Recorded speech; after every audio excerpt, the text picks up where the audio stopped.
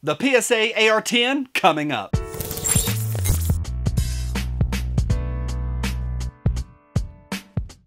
Hey guys, I'm Johnny with PewPewTactical.com, your definitive source for gun reviews, gear guides, and all things that go POW. Today we're looking at the Palmetto State Armory AR-10 chambered in 308. Now I'm going to walk you through the features, I'll get it out to the range, and I'm going to tell you my experience. Now if it's your first time here, we always put a ton of stuff down below for you to check out including a link that'll go over to our website. And if you're already on our website, look up above and down below on this article, a lot of stuff for you to check out and see what you think. Now, in recent years, a lot of guys have been adding an AR-10 to their arsenal. Some hunters, some are long-range distance shooting junkies, and like me, some are Sunday afternoon plinking folks looking to spice things up. AR-10s come in a huge price range and about 25 different chamberings. This one is the entry-level PA-10 from Palmetto State Armory. It's an AR-10 chambered in the popular 308 Winchester round and is sold as a complete rifle. This is the Generation 2 PA-10. Now there's a few different PA-10s out there, but this one has a full rail, a free-floating 15-inch M-LOK handguard, and comes in currently at about $750. Both receivers are forged aluminum, and the barrel is a 1 in 10 inch twist that's overall 18 inches of stainless beauty. Now for me, the barrel really is the highlight of this rifle. Now everything together comes in at 8 pounds and that's without glass and without ammo, but overall I think 8 pounds is manageable. The stock is the Magpul ACSL, and the grip is the overmolded rubber one with the PSA logo on it. The gas system is mid-length, and the muzzle device is A2 style. And the final spec, and I think this is where it gets interesting, so put on your tinfoil hats, because I think there's a conspiracy here. PSA says that the trigger is a single stage mil-spec trigger, but I'm gonna go with a big nope on that one. The trigger is significantly better, in my opinion, than any mil-spec trigger I've ever used. So I'm not really thinking this one's mil-spec, but what do I know? I'm a moron wearing aluminum foil. The take-up is clean and it's not crunchy at all, and the break is doggone crisp. So I'm not sure what's going on, maybe aliens.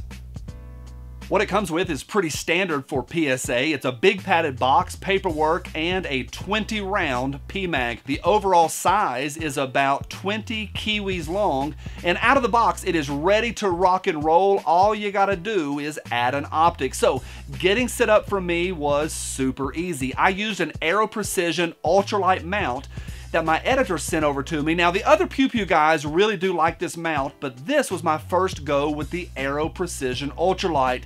And overall, I think I'm in. I'll put a link down below for you to check out our full scope mount article. Check it out again, see what you think. Now, I paired this rifle with the Primary Arms Platinum Series scope. It's 6 to 30 by 56, and I think it's the perfect size for an 18 inch 308. Now, if you're new to the AR-10 platform, the cool thing is breaking it down and the maintenance and all the other stuff is exactly the same. So it's an easy transition for those of y'all that already fire the AR-15. Now, let's get out to the range. For this test, I used two different brands of magazines, the PMAG and the Lancer. I fired 200 rounds of match grade ammunition from Nosler and Sig Sauer, and also tried a linear comp, which I really didn't like, and I also used a bipod a little bit, but I spent most of my range time with the big bag. I also shot from the shoulder, partly because this rifle is fairly lightweight for an AR-10, and also because America. I know this review is not about the glass, but boy howdy, I did like the primary arm scope. I haven't stretched its legs yet, but the reticle is crisp and it lights up red and all of the dials are huge and easy to get a hold of. Now overall, the rifle performed perfectly. The action is smooth, it fed just fine, it locked back on empty every time, and the magazine dropped free easily. But I think for me, the most important part, and I think y'all are going to agree with this, with a 308, it's that sweet, sweet accuracy. Two things. First, I was able to stack rounds on top of each other absolutely no problem but I did not go out past 100 yards. It's a brand new rifle. So no huge surprise there for me in the accuracy department, especially with that trigger and that 308 round. So it's easy to put rounds where you want them. But second, anytime I'm working with a brand new rifle, I don't get serious until I get multiple hundreds of rounds down the pipe. The manufacturer also recommends a break-in period for their barrels. Some guys follow those directions and some don't. All right, there's a lot going right with this rifle. Let me tell you my top five favorites with the PA-10 and then I'm going to tell you a couple concerns. First, of course, it's the price. I live in the real world and folks who work for a living can enjoy the AR-10 platform without spending three months salary. Now second, as I said, the trigger ain't half bad. I'm going to leave the trigger as is, which really is a rarity for me. Third, there's a lot of value. I'm going to say this several times today. There's a lot of value already included in the rifle. Fourth, the stock is a solid choice. And finally, when I tell you that it's optics ready, it really is ready to go right out of the box. So put some glass on it and head straight to the range. Few shortcomings to consider or at least to think about. Of course, 200 rounds is not enough to really get dialed in on a 308. Also, I do want to try a different grip. I really do like rubber grips, but I have mixed feelings about this one. Not a big deal to change this one out. Also, if this is your first AR-10, consider getting a smaller magazine.